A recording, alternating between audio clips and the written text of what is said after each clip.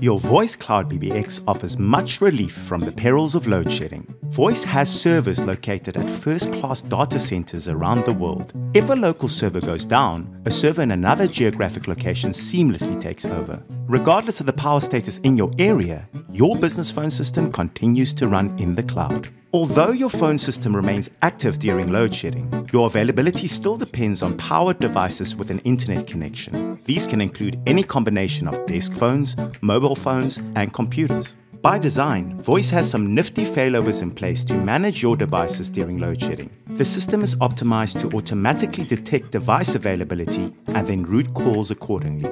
You have full control to set your own routing preferences via a user-friendly digital dial plan. Some offices might have UPSs and generators to power Wi-Fi routers and desk phones, while other offices might rely on battery-powered mobile phones or computers with 4G access. Every user can implement the optimal setup for the devices they have available. Let's look at a basic example using only three devices, namely a desk phone, computer, and mobile phone. Remember that you can have any combination of such devices at any stage of your dial plan. You can also route calls to colleagues in another office or even another country. For the sake of this very basic demonstration, here's what happens during load shedding.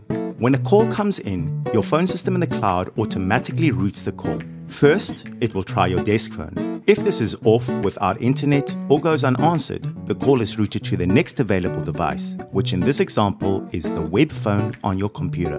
If your computer is offline, the call is routed to the 4G app on your mobile phone. If the call still remains unanswered, Voys has a slick little trick up its sleeve. Because VoIP calls are connected via the internet, in the unlikely event that your mobile phone is also without internet access, the cloud can transfer the call to you via your fixed mobile number. In other words, the call will be established via a traditional phone network that doesn't rely on the internet. This feature should only be used as a last resort, as it consumes additional call minutes even for incoming calls. This feature can easily be switched on and off at the click of a button. If after all these failovers the call is still not answered, the call will be sent to voicemail. The voicemail is then conveniently sent to your email address as an audio file.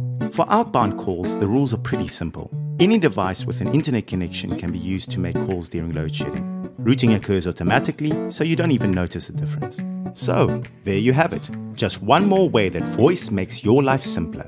Voys. Freedom is calling.